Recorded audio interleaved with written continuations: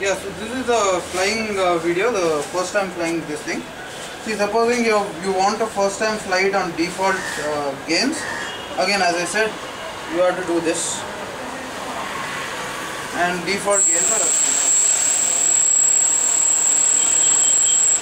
Okay. And now to arm the motors, actually, you'll have to move the stick to this side. Motors arm. Then give throttle and starts stabilizing. Okay? Disarm is this. So arm disarm. Okay?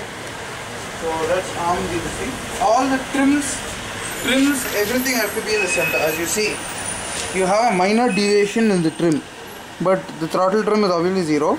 All the rest of the trims are more or less near center. So they have to be more or less near center for it to start working. Okay? And all your sticks also sticks. You see the stick the throttle should be low this should be this means arm disarm and this has to be in the center okay?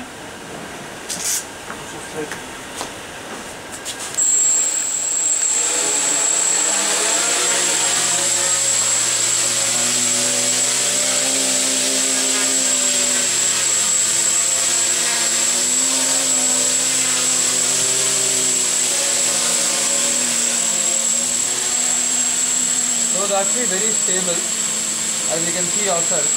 Mainly because we uh, work directly on the attitude. Unlike KK board where it is working on the game, we work directly